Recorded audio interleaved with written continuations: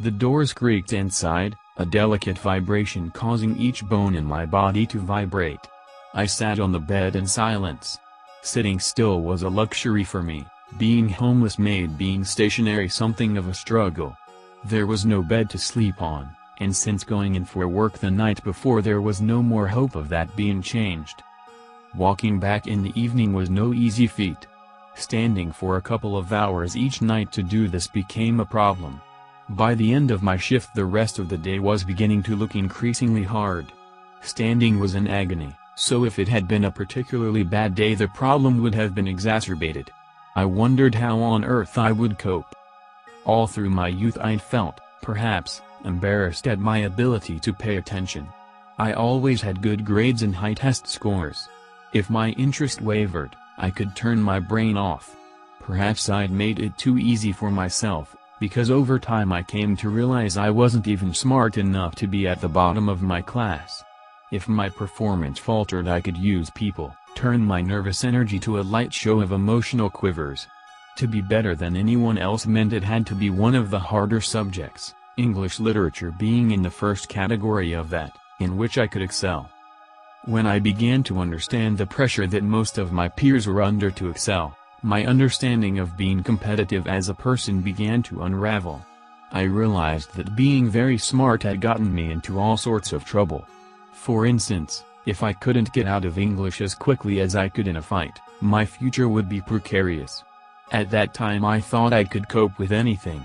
As time went on I realized I could only cope with what I could do, and what I could do was feel pain.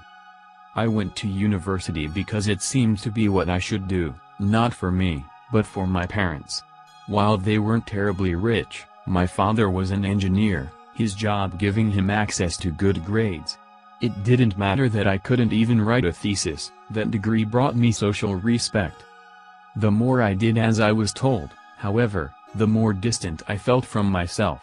At times I thought I was making things up, not just the details of my world, but the feeling that all I was doing was expected of me. As I gained acceptance in society it also seemed I'd won my parents' love. They would visit me, unannounced, bearing baked goods, and offer money when I wanted it. They wanted me to stay safe, healthy, happy. What if they knew I didn't want to be all those things? The years I'd spent on university work had taught me what to expect from each day, what the future might hold. I would begin to feel as though the ground were moving, my heart racing in fear. There was only one time in my life when I'd ever felt that feeling before. The year 2027 was an exceptionally cold one, spring and summer having barely moved on from where they were in the late 1980s. Each day's shower was the only warmth, and winter blanketed the trees and fields. I didn't know what people were feeling, what worries weighed them down, but it felt as though we'd gone through more rain than anyone had ever known. Four days I'd sat and watched the world moving in its long slow progress. Watching made me depressed, even as I watched myself looking down. There was something about life without anything to do. I didn't know how I would feel when things began to happen. What could it be like to be me, my life? I wasn't able to imagine it.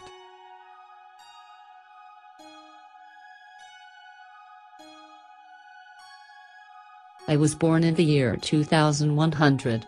That makes me one of the first generation of humans to be born after the turn of the millennium. And it also means that I am the first generation to be born into a world where climate change is a reality. I remember the first time I saw the effects of climate change.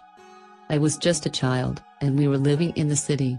The summers were always hot, but that year, they were especially hot. The heat was so intense that the concrete began to buckle and the asphalt to melt. The city was a disaster. But it was nothing compared to what was happening in the rest of the world. I remember watching the news and seeing the images of floods and famines. Entire countries were being wiped off the map by the effects of climate change. And there was nothing that anyone could do to stop it.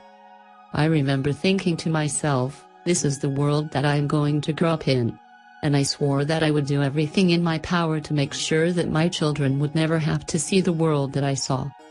I dedicated my life to fighting climate change.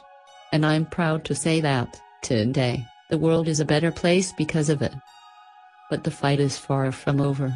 The effects of climate change are still being felt all over the world. And we have to continue to fight if we want to make sure that our children and grandchildren never have to see the world that we saw.